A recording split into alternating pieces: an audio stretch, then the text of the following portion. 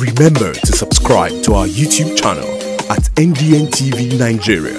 Click on the subscribe button and be the first to get notifications. With two lawsuits challenging the nomination and forthcoming coronation of the 21st Olu of Warri Kingdom pending in the courts, the August 21st, 2021 date scheduled for the coronation of Prince Tsola Emiko as the next Olu of Warri Kingdom no longer appears sacrosanct.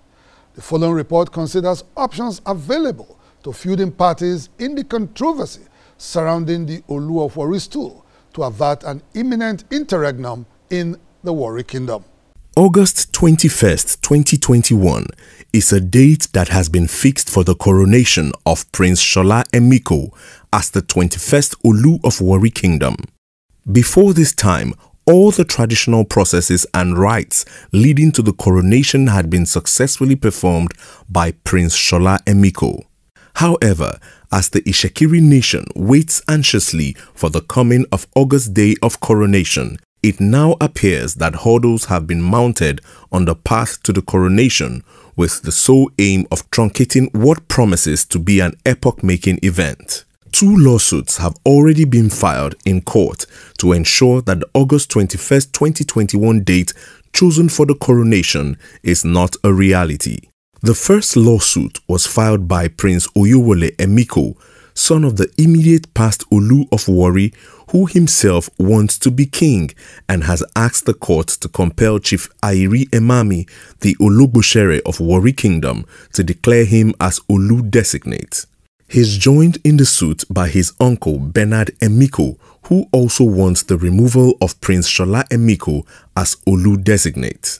On Thursday, 22nd July 2021, the matter brought before a state high court in Asaba was adjourned to August 5, 2021, following change of counsel for the claimants as well as the notice served by parties seeking to join the suit. All our counsels filed motions to join. So basically the matter was adjourned for joinder of parties that are indicating an interest to join the, the suit as time progresses. The condition in court was convivial. In fact, all the parties, I'm sure, are satisfied with what happened in court here today. In this, in this drama, there's no victor, there's no vanquish, because the entire Shekiri people were one. The only victor we have in this drama, as epitomized by Prince Shola Emiko, the Olu designate is the Shekiri people. The second suit filed by Chief Ayiri Emami, the Ologbosere of Warri Kingdom, at a Warri High Court is challenging his suspension as Ologbosere as well as seeking an interlocutory injunction to prevent anyone from crowning Prince Tsola Emiko or any other person for that matter as the next Olu of Warri Kingdom, pending the determination of the suit. Chief Ayiri is also asking the court to interpret the 1979 chieftaincy edict, which he believes will favor his case.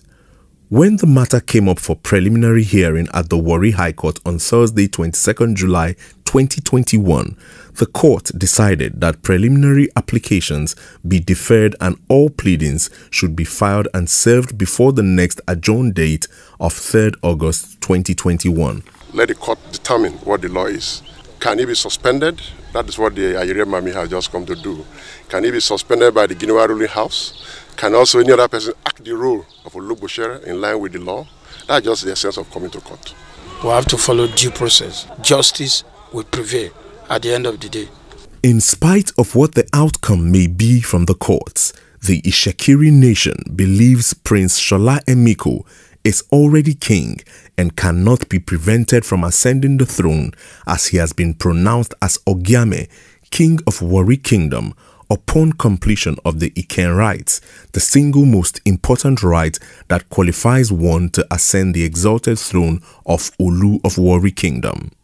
As the countdown to August 21st continues, most Itsekiris cannot help but wonder if the courts would stop the coronation or Itsekiris would achieve a reconciliation of all aggrieved parties and ensure a hitch-free coronation ceremony.